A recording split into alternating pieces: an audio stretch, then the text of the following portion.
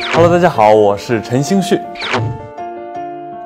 在挑选这个角色方面啊，我不知道你自己有没有一些呃什么样的标准？其实我自己是首先看到一个剧本，然后这个角色我是否是喜欢，和我是不是很像，然后我愿不愿意去为创作它，然后为它加分儿。对，这是我的一个标准。《东宫》这部剧当时挑选的时候是一个什么样的情况？拿到剧本以后，呃，先跟导演和制片人聊了一下，可能呃对方会觉得我会像一些李成荫的这个感觉，然后也可能是看到我在《射雕》里面的表现，对杨康的那个状态。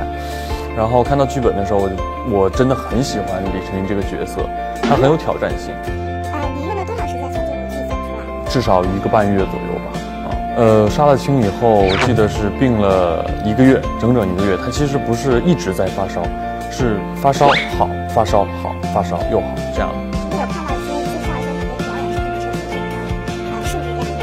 是因为我可能还还算年轻啊，然后对，就是在一些经验和阅历一些方面上面可能会稚嫩，所以说我需要把我自己先变成那个人，先去让我自己相信我就是那个角色，我就是那个人，才能去呃可能表现得更好吧。第一个问题是，作为一位吃货，平时在家会自己做饭吗？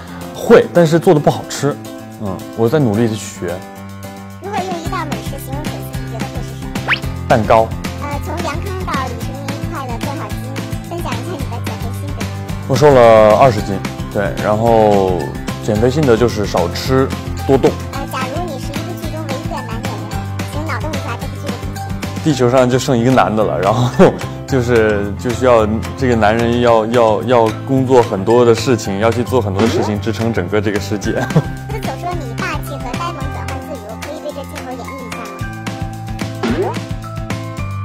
这是霸气啊，呆萌。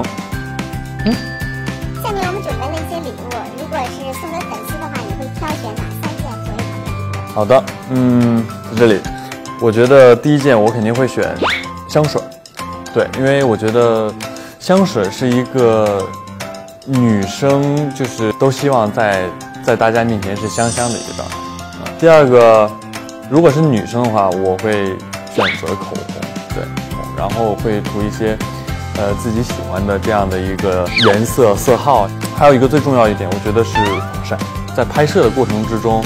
都会有在夏天会有一些大太阳的天气，所以就会用到一些防晒。